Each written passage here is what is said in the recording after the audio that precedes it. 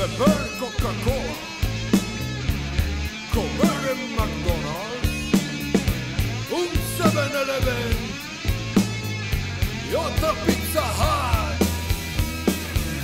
Toma una franquicia, traga la inmundicia.